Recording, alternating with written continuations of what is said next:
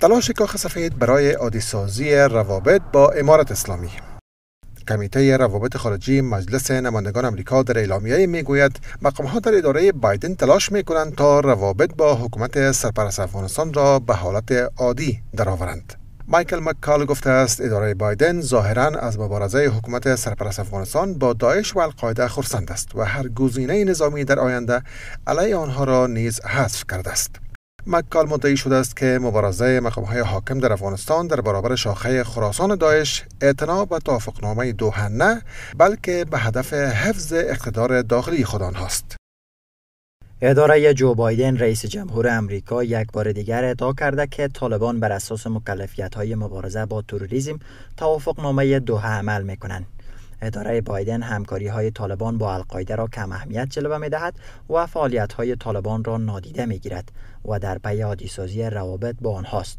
در واقع طالبان با القاعده یک جا برای شکست دشمن مشترکشان شاخه خراسان و داعش به عنوان بخش از تلاش های داخلی برای حفظ قدرت کار می کنند امارات اسلامی در توافقنامه دوحه توافق کرده تا در بدل خروج قوای خارجی از افغانستان از مبادل شدن افغانستان به لانه امن گروه های تروریستی جلوگیری کنند. امنیت کلی و در تمام کشور برقرار است. باز هم یک جای تشویش تلقی کردن و یا از جا تشویش اظهار کردن به جا نیست. ما بازم تاکید می‌کنیم خاک افغانستان هیچ کشور استفاده نمیشه. کشورها باید در امنیت افغانستان هم همکاری باید بکنن.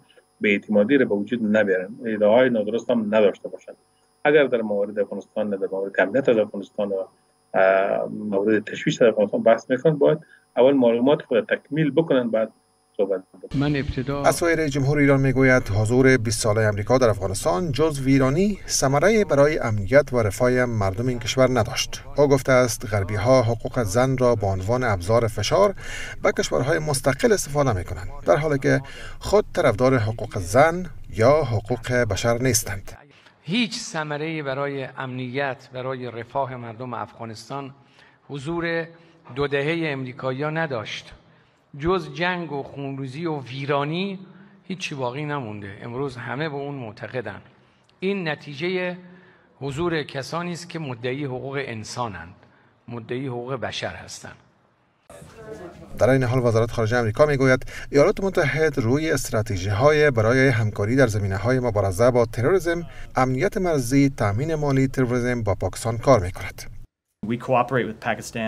ما با پاکستان برای شکست گروه های تروریستی همکاری می کنیم.